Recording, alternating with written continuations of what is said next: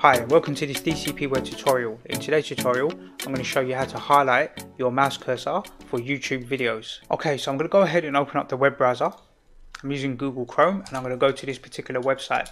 I'll put a link to this website in the YouTube description so just click on the link and you'll get to this same page. I'm going to scroll down the page where I see this yellow highlight here and just above it it says that to use this particular tool you need to install AutoHotkey this software right it's free so I'm going to middle mouse click on this link here to open it in a new tab. And I'm going to click the download button and then click download current version, this one. Let's download that software and then now it's downloaded I'm going to click on it and I'm just going to install it. So just click express installation here and then it's installed and then you can exit, click exit. Alright, and now we can close down this tab and we can click on this link here, this yellow one at the top right here. We're going to click on it and it's going to go to Google Drive and download this file. So here you can see the file, this is the config file. I'm going to click this download button here. So the file is downloaded. Let's open up this folder on my desktop and I'm going to drag and drop that file into this folder here and then we'll minimize the web browser and I'm going to double click on this file and when I double click it's asking me if I want to create a settings default settings file and I'm going to click yes here and then click OK and now you see this tool pop up here this tool right? Let's minimize this and look at this tool. So okay it's not the best design ever but it's functional and that's the key here right? And really use this tool in PowerPoint. This tool is really for PowerPoint but you can also use it for YouTube videos and tutorials and all, all sorts of other things. And the one element in this tool that you use, if you're not using it in PowerPoint, is this button right here, the one that where my mouse is. When I click on it, you'll see the mouse cursor is now highlighted. Obviously you don't want this toolbar showing when you're doing tutorials, so you can go down to the taskbar here and go to the tray icon and then you can click on this little icon here. It's called PowerPoint inking toolbar. When you click on it, it will minimize it and hide it, right? So now you don't actually see that toolbar there. So you can start your video and do your tutorial. This tool right now, or the mouse cursor itself right now is highlighted in yellow. So I'm going to show you how to change the color and also change the size of the, the circle, right, this halo. So let's go back down to the bottom here and we'll click back on the tool to enable it. And then we're going to right click and we're going to go to toolbar options. So just right click on the little icon in the tray down here. This one here, right click it, go to toolbar options and go to toolbar settings ini file. So we'll open up that file. It's going to open in Notepad like this. And I'm going to press Control and F to find. And I'm going to look for the word color. It's spelled American C-O-L-O-R, color like that. And we'll click Find Next.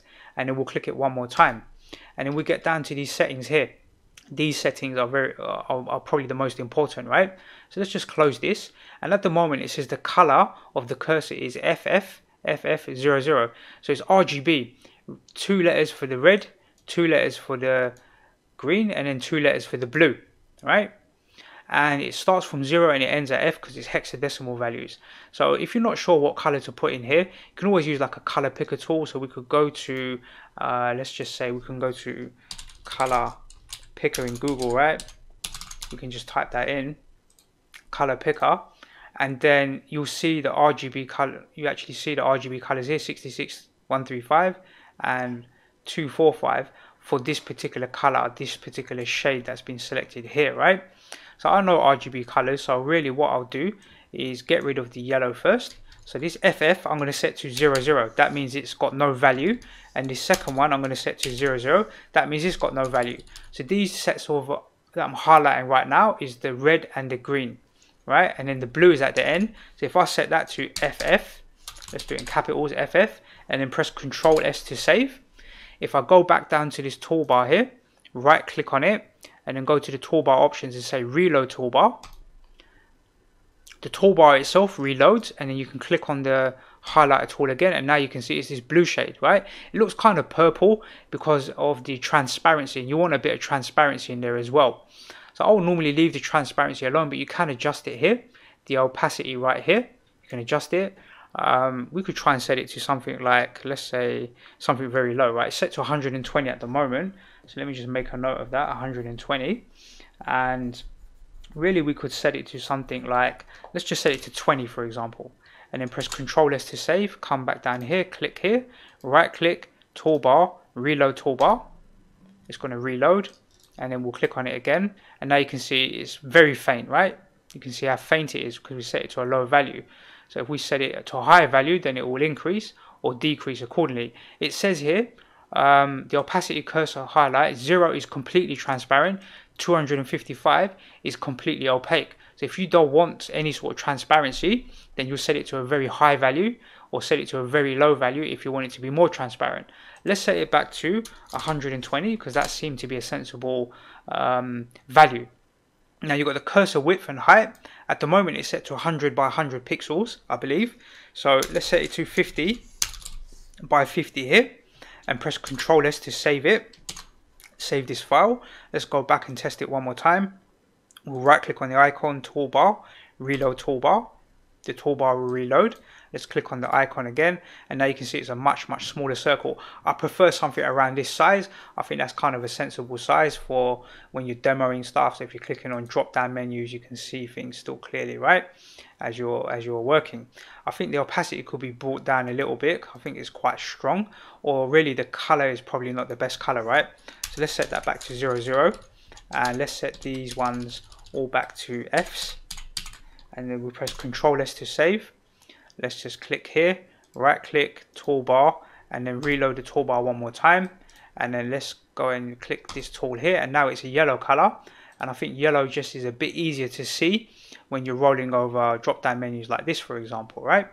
Uh, let's click exit here because we can close down the ini file. If you want to close down this toolbar completely you just go to here right click on it go to toolbar and then go up to the top here and say exit PowerPoint inking toolbar. Let's click it and then it will be exit and then the mouse cursor highlight is being removed right?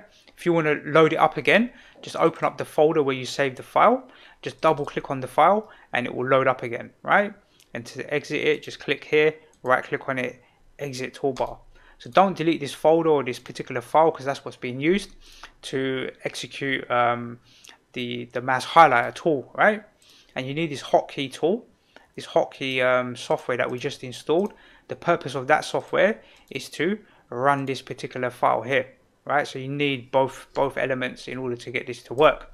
So that's the end of this tutorial. Hopefully you find it useful. And if you're making youtube videos or you're making some sort of tutorials and you want to highlight things on the screen with your mouse cursor then i think this is a nice way to do it uh, if you like this video, please give it a thumbs up and feel free to write a comment if you like this video. That would be nice to get some comments from you to tell me if you like this particular uh, tutorial. Remember the software that you're using is for free, so this is there's no cost involved in using this particular uh, mouse highlighter tool.